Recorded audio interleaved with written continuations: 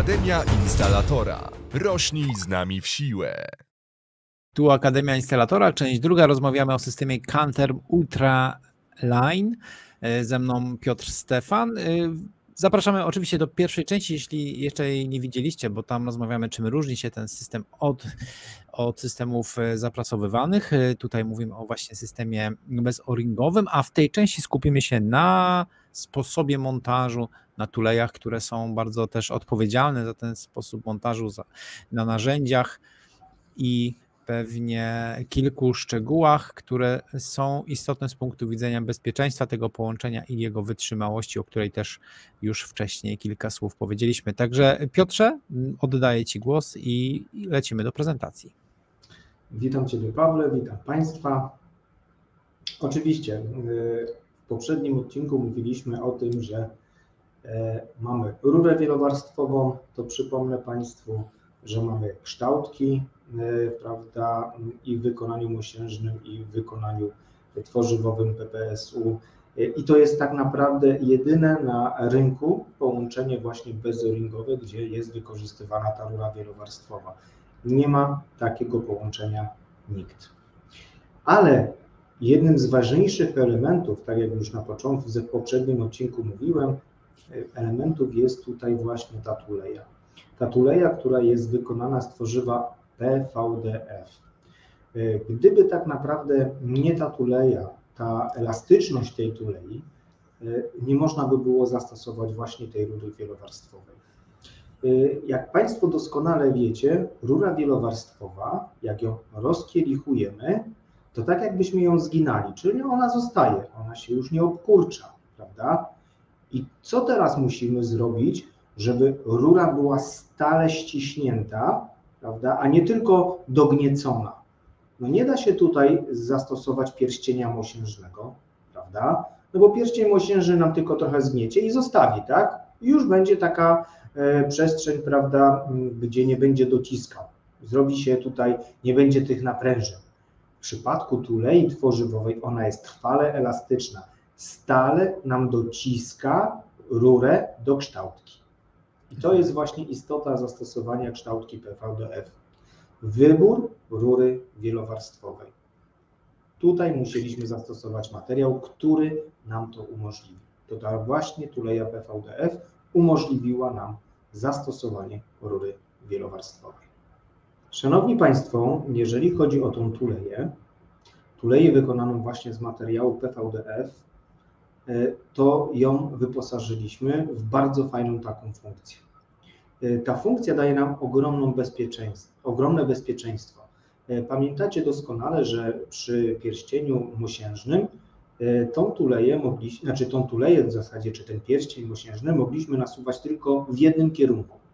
Każdy musiał zobaczyć, popatrzeć, gdzie jest fazowanie i w tym kierunku, prawda, układać pierścień do kształtki. Tutaj tuleja jest symetryczna.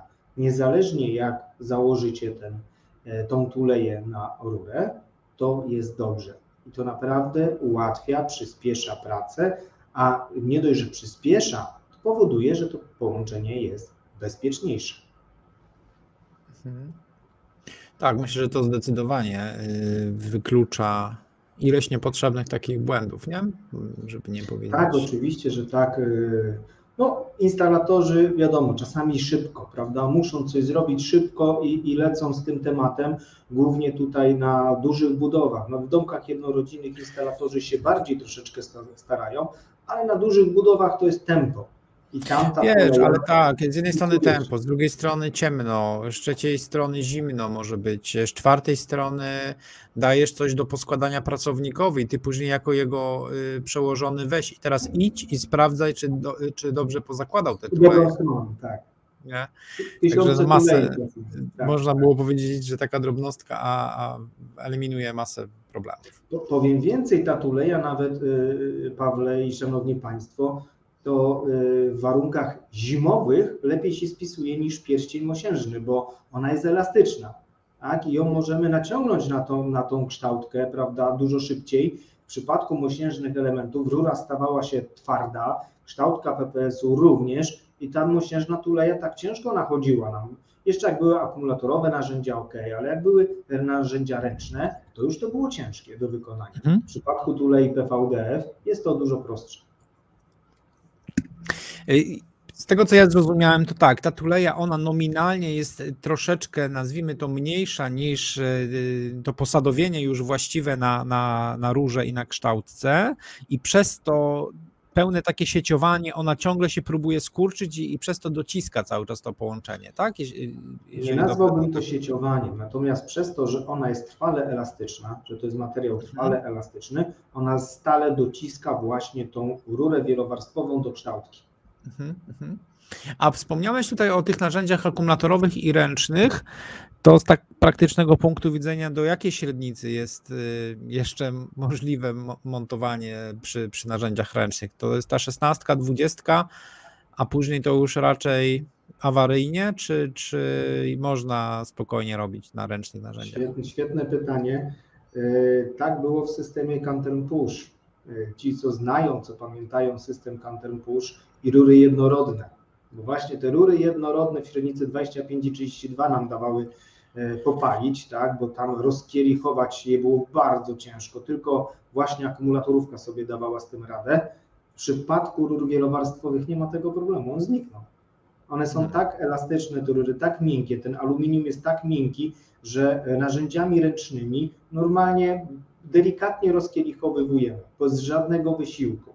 E, A nasuwanie tulei tutaj nie ma znaczenia. Tak jak powiedziałem, ta tuleja jest tak elastyczna, że ona sama nachodzi, na, można powiedzieć, na, na tą kształtkę.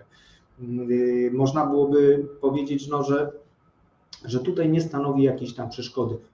Narzędzia ręczne dzisiaj są równoważne z narzędziami akumulatorowymi.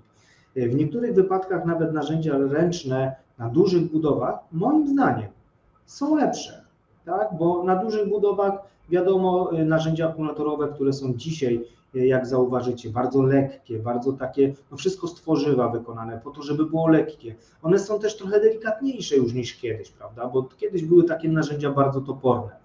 Ale dzisiaj wszyscy starają się robić tak w kierunku instalatora, iść, poprawić, żeby miał wygodnie, żeby miał lekko, żeby się nie namęczył. I te narzędzia właśnie akumulatorowe na dużych budowach no cierpią, cierpią po prostu, bo ktoś gdzieś tam, prawda, może kopnąć, może rzucić, może te, i one nie wytrzymują, nie wytrzymują. E, Natomiast narzędzia ręczne, no, to są narzędzia, które będą pracować przez lata na takich budowach. E, Dobrze, to w takim razie zastanówmy się na, nad, y, czy popatrzmy, jak dokonuje się montażu, jak działają narzędzia. Tak, tak. E, Nie lubimy zdrabniać, jak to niektórzy mówią, dlatego że to są poważne rzeczy. To a tym bardziej tuleja, tak, która odpowiada za te całe połączenie. E, Więc to nie jest taka sobie tulejka, e, tylko tuleja. To jest tak, jak e, Pawle, powiem Ci, mnóstwo instalatorów, w ogóle ludzi mówi, że to wszystko to są plastiki, tak? Tak. I to tak się wszystkim kojarzy, to jest plastik, a tak naprawdę Wystarczy wejść do Wikipedii i, i poczytać, co to jest tworzywo, a co to jest plastik, tak? No, każde tworzywo jest plastikiem, jak, jakby nie było. To jest plastik, ale wysoko przetworzony. To jest plastik, czy tam materiał, który jest odporny i termicznie, i chemicznie, i, i, i jeszcze y, wytrzymałościowo. On ma jakieś tutaj dodatkowe, można powiedzieć, zadania, aniżeli tylko jakaś forma, utrzymanie jakiejś formy. Ja powiem więcej, jak jakaś różnica między kubeczkami nawet do napojów, tak? Jak mamy kubeczek taki do zimnego napoju, to jego można nazwać plastikowym, bo on co? Nic nie robi, tak? Ale gdy mamy kubeczek do ciepłej, już do kawy, to on już musi wytrzymać tą temperaturę. Tak. Czyli już musi być to specjalne tworzywo i to jest wtedy tworzywo. Tak? Także to tak, żeby wytłumaczyć różnicę pomiędzy plastikiem w cudzysłowie a tworzywem. Wracając do, do, do tematu, no właśnie wykonujemy połączenie. Całe sedno połączenia to jest właśnie nasunięcie tulei narzędziem odpowiednim, które jest wyposażone właśnie w takie widelce, a wcześniej ta rura musiała być rozciągnięta, czyli rozkielichowana, żeby można było ją nałożyć na tą kształtkę. I po kolei. Pierw co musimy zrobić? Obciąć rurę. Ważne, żeby ją obciąć pod kątem prostym. To jest najważniejsza rzecz przy całym połączeniu. Dlatego też wstawiliśmy do, tutaj do zestawu narzędzi narzędzie, takie mm, nożyce tak naprawdę, które mają bardzo szeroką podstawę. Rzadko spotyka się na rynku takie nożyce właśnie z taką podstawą. Tutaj tak naprawdę ciężko jest uciąć inaczej niż pod kątem prostym. I to jest ta też dodatkowa wygoda, szybkość i bezpieczeństwo instalatora.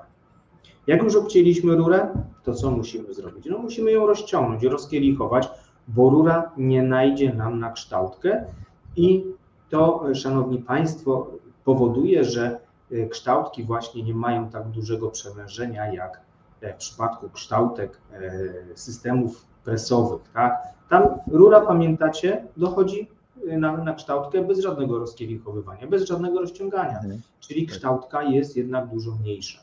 Tutaj ta kształtka jest większa, jest porównywalna, bym powiedział, z rurą, jeżeli chodzi o średnicę wewnętrzną. Mamy dużo mniejsze opory hydrauliczne na instalacji, a to też również e, pompa, tak, jeżeli chodzi o budownictwo jednorodzinne, no to ta pompa pracuje w tym momencie na mniejszych obrotach, tak, czyli mamy zyski e, nie tylko właśnie na prawda, montażu, ale również i na mm, ekonomiczne. Jak już mamy rozciągnięte, czy to będzie naczynie, e, narzędzie, przepraszam, e, akumulatorowe, czy to będzie narzędzie ręczne, nie ma znaczenia. Tak jak powiedziałem, przy rurach wielowarstwowych jest to po prostu bajka. Nakładamy rurę na kształtkę, dosuwamy, tak jak wcześniej mówiłem, dosuwamy do stopera, czyli do tego największego karbu, nie do kołnierza, tylko karbu, który jest na kształtce. No i bierzemy się do nasuwania albo narzędzie akumulatorowe, albo narzędzie ręczne i nasuwamy właśnie tą tuleję. Co bardzo ważne, moi drodzy, to znowu kolejna rzecz. My tego pierścienia czy tulei nie przeciągniemy. Dlaczego? Dlatego, że o to też zadbaliśmy. Jak widzicie na e, rysunku, te dwa widelce, one się schodzą do siebie, prawda?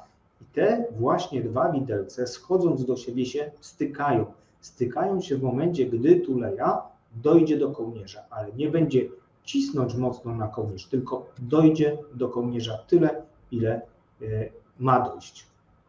Mhm. To powoduje, te zderzaki, które tam są, powodują, że nie wprowadzamy naprężeń e, właśnie w tą kształtkę, czy to będzie kształtka wykonana z PPS-u, czy to będzie kształtka wykonana z nosiącą.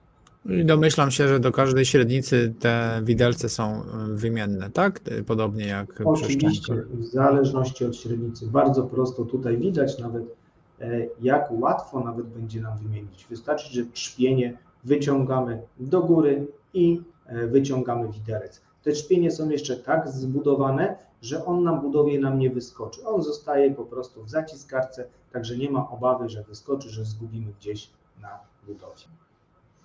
Tutaj y, myślę, że y, warto podkreślić, że nie mamy tego o-ringu, bo po przycięciu rury na pewno warto ją, jeśli byłoby to przycięte nie, nie nożycami, tylko jakąś piłką czy czymkolwiek, to tak i tak trzeba ogradować. Jednak przy systemach o-ringowych jest to ryzyko właśnie uszkodzenia bądź ściągnięcia tego o-ringu, prawda? Tutaj Mm, tutaj przez to, że ta rura jest rozciągnięta, czy taka rozkalibrowana właśnie, no to ona w momencie nasuwania na kształtkę wchodzi w sposób taki luźny, co też jest y, wygodne, szczególnie w takich niedostępnych miejscach, gdzie, gdzie, nie, gdzie nie mamy tej siły, żeby tej rury chwycić i ją tam gdzieś mocno, mocno nasuwać. Oczywiście, że tak. No a bezpieczeństwo, bo o-ringu tutaj nie ma. Nic nie uszkodzimy, nic nie zniszczymy. Mhm. Nawet gdyby się okazało, że rozkielichowaliśmy i e, nie trafiliśmy, bo trzeba rozkielichować ją dwukrotnie, czyli raz rozciągnąć do końca, obrócić o, o kąt mniej więcej 30 stopni, dlatego że to są e, sześciokąt tak naprawdę, prawda? To są listki, jeżeli chodzi o głowice e, kielichujące, mhm. Mhm. więc trzeba o te 30 stopni przesunąć i jeszcze raz do samego końca rozciągnąć rurę, tak żeby nadać jej okrągły kształt, a nie taki sześciokątny i nakładamy z powrotem. Jeżeli się okaże, że nie trafiliśmy sobie, szybciutko bierzemy jeszcze raz, e, rozciągamy i nakładamy z powrotem. W przypadku, tak jak powiedziałeś, e, systemów presowych, no tam jest ORI, więc większość systemów e, preferuje to fazowanie, kalibrowanie.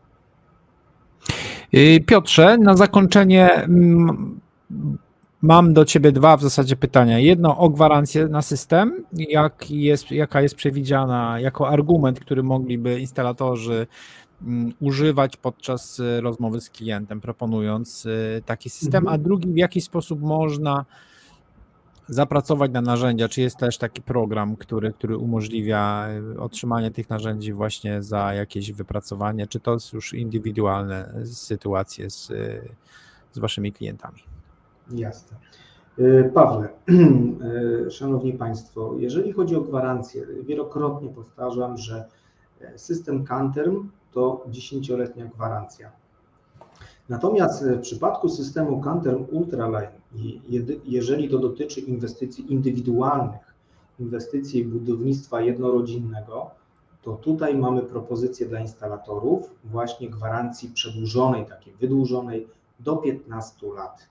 Czyli łatwiej będzie Wam przekonać instalatora, e, przepraszam, inwestora do tego, żeby zastosował ten system, bo będzie miał przez e, większy okres czasu tą pewność, prawda, że jeżeli cokolwiek by się stało, no to firma e, weźmie za to odpowiedzialność, oczywiście jeżeli wina będzie leżała po naszej stronie.